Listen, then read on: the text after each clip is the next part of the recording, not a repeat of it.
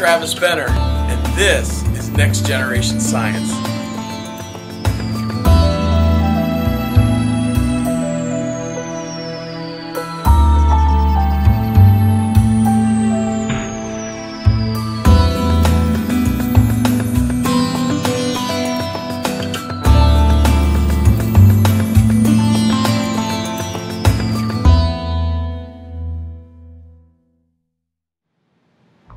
This video is meant to show how teachers in the field can integrate the next generation science standards into their curriculum.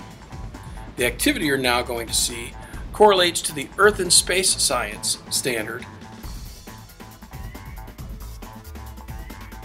Support an argument that differences in the apparent brightness of the Sun compared to other stars is due to the relative distances from Earth. Their assessment boundary would be that assessment is limited to relative distances, not sizes of stars, and assessment does not include other factors that affect apparent brightness, such as the stellar mass, the age, or the stage of the star. Creating a basic model to show how light spreads out over distance will help students understand differences between the light from our sun and the light from other stars they see in the night sky.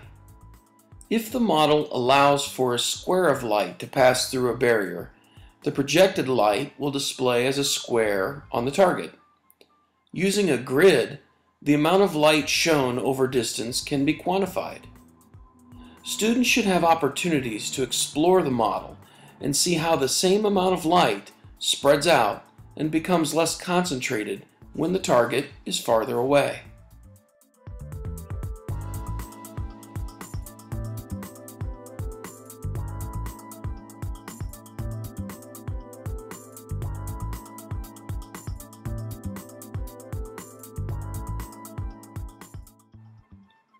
Students should sketch the model in their science notebooks and seek to explain what happens to the light as the distance the light travels increases.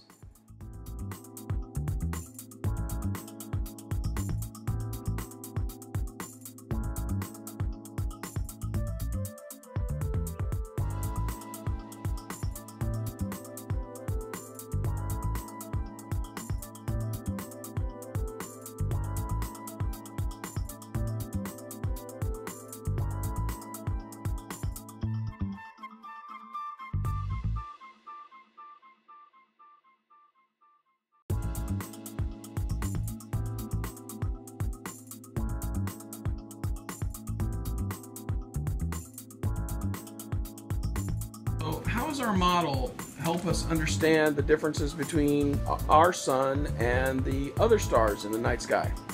Well, when the, the flashlight is closer to the board, it's much brighter, like our sun against the Earth, which is the brightest sun, the, brightest star to our Earth. And when this board is backed up, it it's like one of the it's like one of the stars that we see at the nighttime that we can't really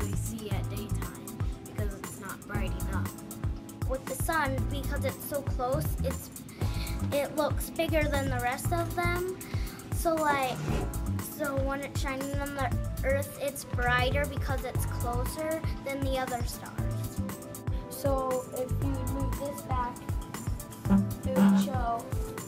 So kind of up since it's so dense right here, this would be like our sun to us.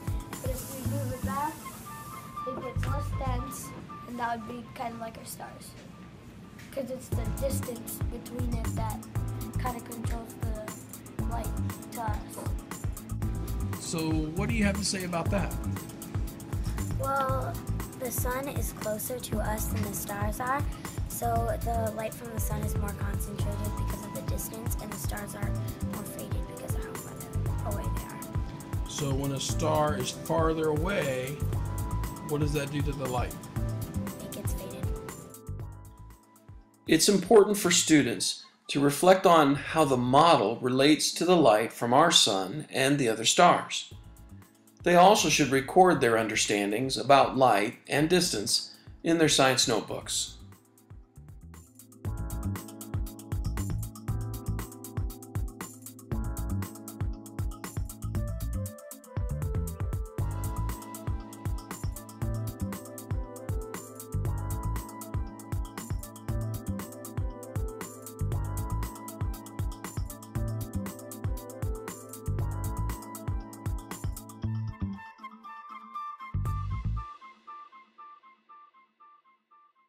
If you want to see more videos like this one, or learn more about next generation science standards, go to YouTube and search for Benner Science and like my page.